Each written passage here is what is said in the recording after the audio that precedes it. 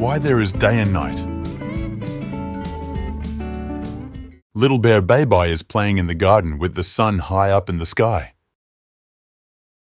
Little Bear Beibei loves playing during the day because the sunlight makes him feel warm and happy.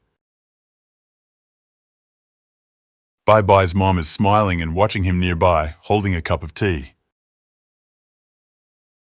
Bye asks his mom, Why is there day and night? Mom says, When the sun is on our side, it's daytime. Mom continues, The earth, like this globe, keeps spinning.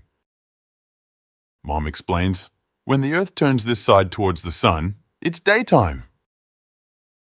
Mom says, When the earth turns the other side away from the sun, it's nighttime.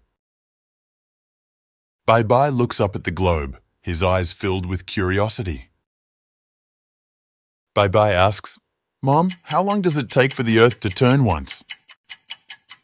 Mom answers, It takes 24 hours for the earth to turn once, which is one day for us.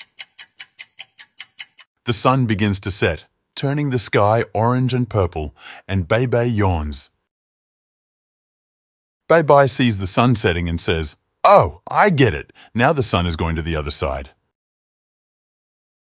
Beibei lies in bed, and Mom is telling a story beside him. The moon is rising outside the window. Mom says, Now it's nighttime and we should rest. The sun will come back tomorrow. Beibei closes his eyes, smiling as he falls asleep.